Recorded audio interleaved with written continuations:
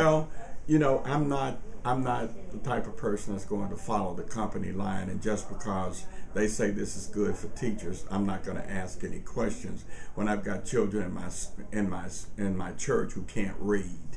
And when I've got kids who can't pass the test to be a buck private, and when we've got, we, we'll sit up and we'll quote statistics about how many kids are in jail, how many kids are uh, in truancy, how many, we'll, quote all these statistics like they're just out in the air by themselves in some type of cloud.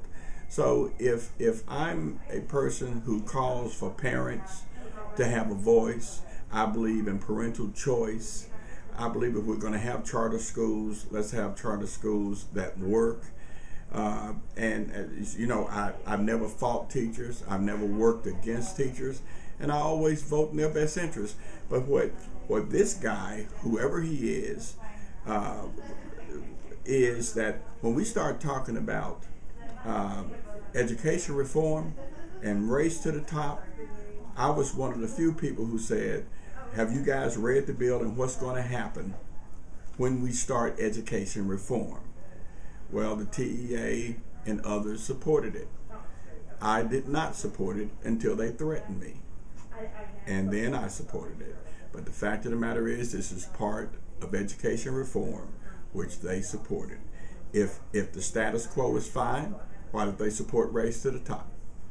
From Memphis, Tennessee, they'll they'll sit up here and talk about Memphis like it's not part of the United States. But when I start working on those issues that the people we don't they don't have a bunch of calls from Memphis against me. They don't have parents coming up here on buses saying John DeBerry don't support these issues. It's just the opposite. They have buses coming up here from Memphis saying John DeBerry support these issues.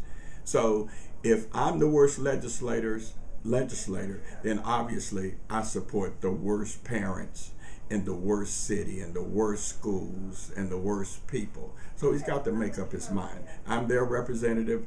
They support what I do, and they don't have to ask his permission.